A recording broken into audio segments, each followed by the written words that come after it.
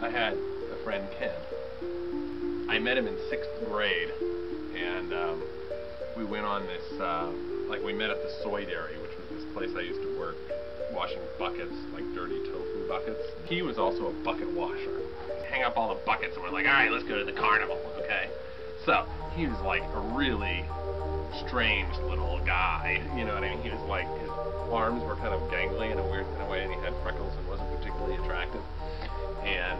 Also just had this like weird kind of face, um, like ugly almost, but a crazy kind of young, and he had long hair. So um, we hung out at the carnival, and he was really into the like. the like games where you shovel quarters off the edge was my obsession from the statistical analysis perspective. I had it all scammed out. I won 27 packs of cards once. Fuck the rides. Here's some gambling. You know what I mean? It was great. So um, we really got along famously.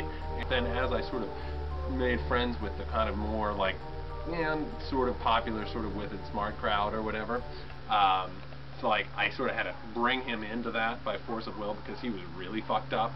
So one of the ways that I'm working it is old Ken, right? You know, with these jock boys, you archetypalize someone, you turn them into a running joke, and that brings them in.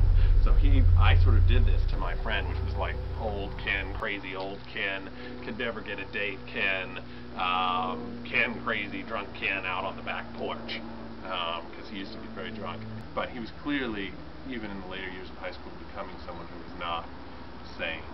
He would um, he would like sort of dry hump girls at parties when he was drunk and that kind of thing, like you know. And ah ha ha, old Ken. You know, I, even then I wouldn't go there. He was starting to kind of, and he'd be more of the kind of Ken like passing out in the back kind of thing. And uh, he became sort of sexually aggressive in certain kind of ways. Like he would make sexually aggressive jokes, you know, and then the bitch, uh, you know what I mean? It's just kind of like. Um, and then I didn't see him till like two years ago, which was a gap of like five years. And he calls me up, and he's been married. And since um, so he's still married to the woman, but he says the parents are seducing her with Prozac, telling her not to see me. I've got to win her back. I'll do anything I can to win her back. I'm working at this ice freezer meat salesman. You know, what, what happened? He's like, well, I got a little physical with her sometimes.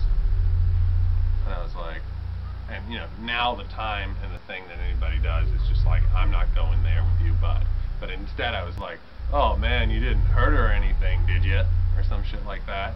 And he was like, well, I did have to send her to the hospital once.